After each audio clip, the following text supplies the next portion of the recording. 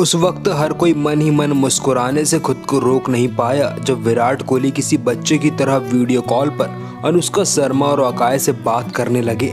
मौका था आईपीएल 2024 के पहले player of the match award और पहली जीत का जिसका जश्न विराट कोहली अपने बेटे अकाय के साथ सेलिब्रेट करना चाहते थे। जी हाँ दोस्तों, विराट कोहली की बदौलत आरसीबी आज कड़े मुकाबले में जीत हासिल कर पाई, वरना सारे खिलाड़ी किसी बिन बुलाए बाराती की तरह आए और चले गए। पर विराट कोहली को अभी भी अपने खिलाड़ियों पर पूरा भरोसा है। बहरहाल, जब Virat Kohli player of the match award लेकर वापस लौटे, तब उन्होंने सबसे पहले अकाय को वीडियो कॉल लगाया और उनसे ढेर सारी बातें की।